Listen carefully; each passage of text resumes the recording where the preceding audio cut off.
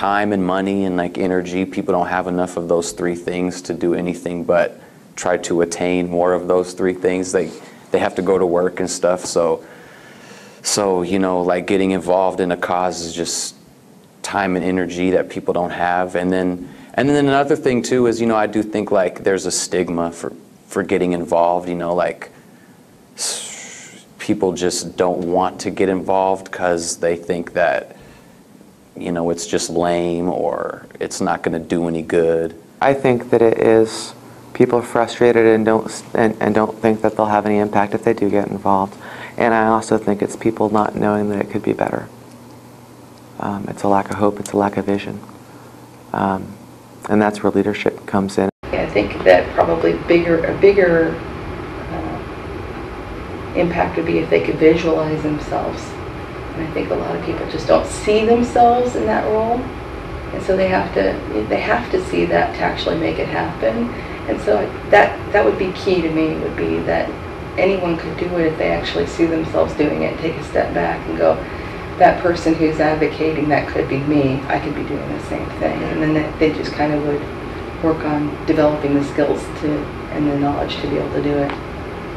I think that the the feeling out there for most people is that it's too big for them and it's too inaccessible. And if they really understood how open the process is and how easily they can access their representatives or their senator, um, they would feel more empowered to get involved and they might be more likely to vote. And I think that would really improve um, the percentage of people that actually get out there and vote too when they when they realize what happens to their vote after they cast it. The world is run by those who show up, and that is so true. Um, sometimes it's really a calculation of how important was that issue because there's only two people in the room. Well, what if you come and somebody else comes and you invite four friends and there's 400 people in the room? Those sort of things speak huge impacts to, uh, or huge volumes to decisions when you see that many people take the time to show up. Because it does take, it does take time to show up. It's a sacrifice. Changing policy takes time, but I don't know, changing the world's hard work and it's worth the effort. I um, have kind of always felt of myself as a change agent, mm-hmm. and maybe I'm a good one because I don't get frustrated in the fact that it's not happening tomorrow and it's not happening now. Mm-hmm. But that doesn't mean that you should stop working on it. Um, or that it isn't important. So definitely uh, you have to have that understanding that what you do now may actually have some impact 10 years later mm-hmm. because you were doing it now. And had you not done it, that change might not have happened. And, and some of the best leaders are those that are quick to identify this is a success even though we didn't get, you know, and, and they point out to you that we have accomplished something. We still have this to work on and uh, and that is so true for the, the political process and, and the decision making that goes on because you just can't have it all. That grassroots involvement, I think that's where people really need to be focused, and that's where you get to the implementation.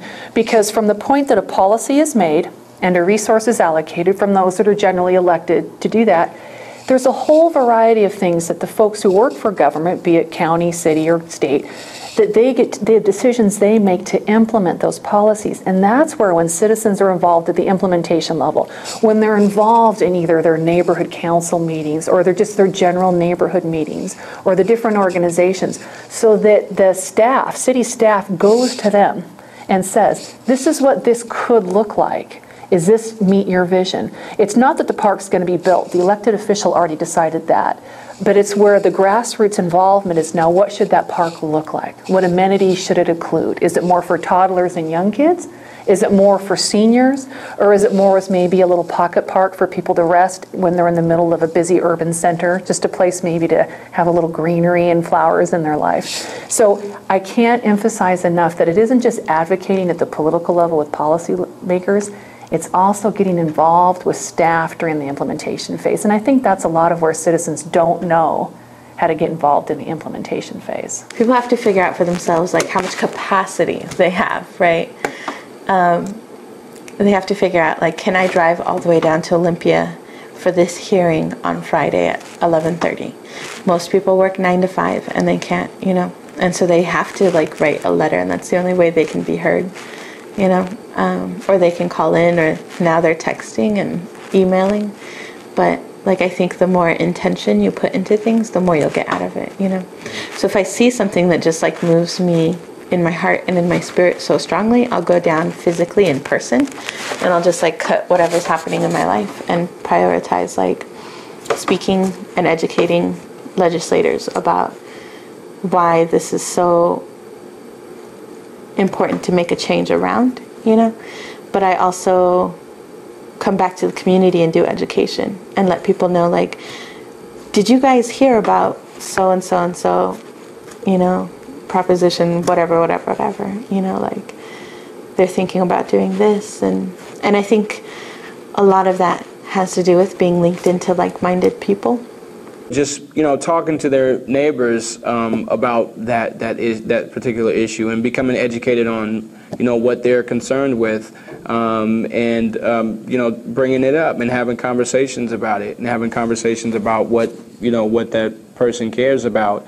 Um, and and then I, I think the the sole most important thing that somebody could do to uh, is write a letter you know to their representative um, about those concerns because they're there to represent, um, you know, our our issues and call them and um, just kind of staying in contact. Um, if there were a couple of people from, um, you know, different, especially minority communities that did that on, that were brought up, okay, this issue, I'm really concerned about it, and sent a letter, um, you know, that that that would that would do a, a big uh, service to probably their neighbors and, and uh, the community as a whole by getting uh, their perspective to our representatives.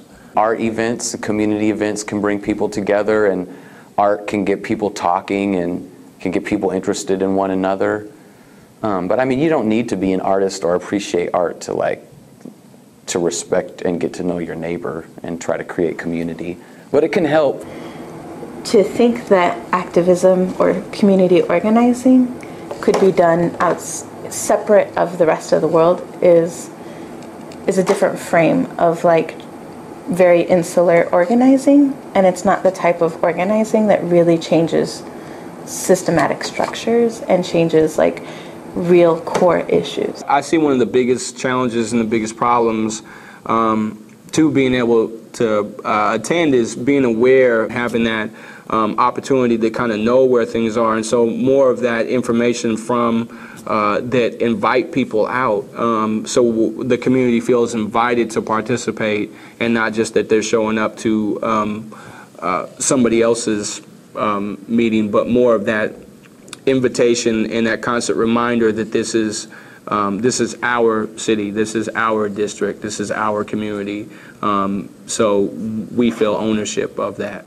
So the trick is trying to find better ways for outreach than what's ever there. Does that make sense? Mm-hmm. Uh, the public are always welcome at our meetings, that sort of thing. But um, for some other people discuss, there's different groups that are harder to reach.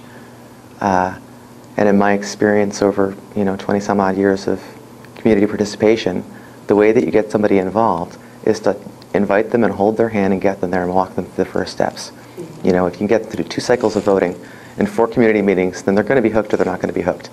But people don't, I don't think any of us understand uh, the power we have in just showing up and saying what we mean until we've done it and we've seen a positive result from it.